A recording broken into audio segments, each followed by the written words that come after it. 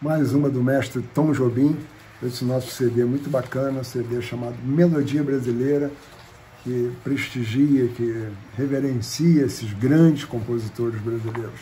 Então temos aqui mais uma vez Tom Jobim, com Brigas Nunca Mais, que é um tema muito, muito tocado pelos músicos em jam session, que é muito bom, além de ser uma melodia, lógico, genial, um swing, uma, uma leveza brasileira.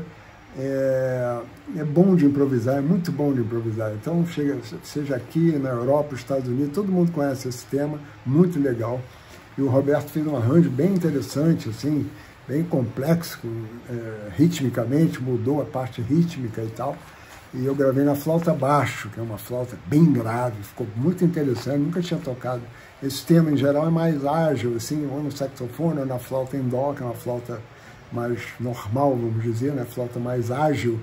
E a flauta em sol ela é mais pesada, ela não tem muita agilidade, ela é muito bonita, um timbre grave, então casou muito bem com a orquestra virtual, naturalmente, que é o, o grande barato do Roberto Araújo, além do violão, lógico e ele fez um arranjo especial.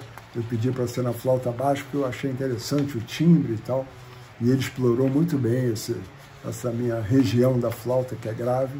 Então, mais um tema para o nosso Melodia Brasileira. Vocês vão adorar, ficou espetacular o arranjo. Então é isso aí. Roberto Araújo nos arranjos e eu na flauta baixo.